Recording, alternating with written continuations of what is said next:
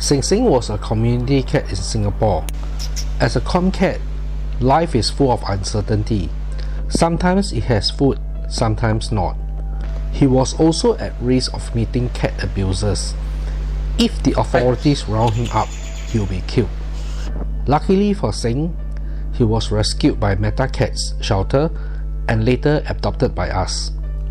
When Seng Seng first arrived, he could get quite aggressive at times but we were confident that this was just him settling down in a new environment. He might look tough, but deep down, he's a sweet and loving cat. Soon, events would prove us right. In 2014, Teddy and his brother Mr. White were abandoned. We fostered them and discovered they both had UTI. Despite the medical care, Mr. White passed away.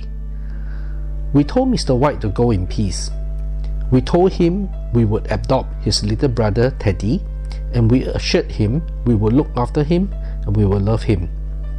Teddy was just a little kitten, and he had already suffered so much. When Seng met Teddy, Seng was very fond of him and would often groom him and stay by his side. Even after Teddy grew up into an adult cat, he still had a baby face, and one of his favorite things to do was to appear in front of Seng Seng with a very cute face. When that happens, Seng Seng would always groom him.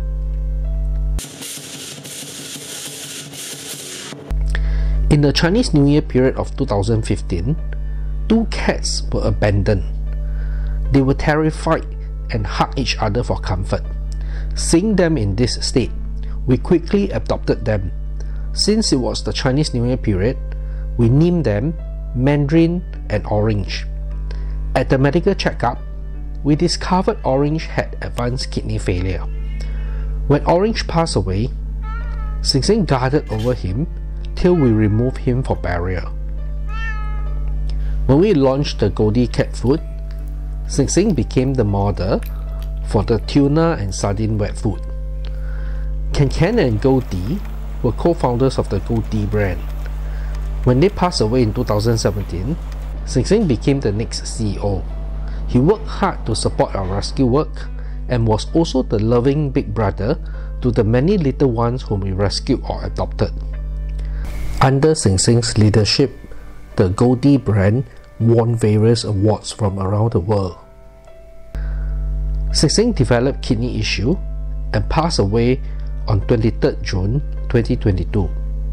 It was hard to lose him but we also know that he is free from all physical discomfort and is reunited with the siblings who left before him. Looking back at Seng Seng's life, he began life at great disadvantage and would have died as another cat abuse victim or in another round of cowling. He was very fortunate to be rescued, and his kind, loving, and compassionate character made him an exceptional and beloved cat.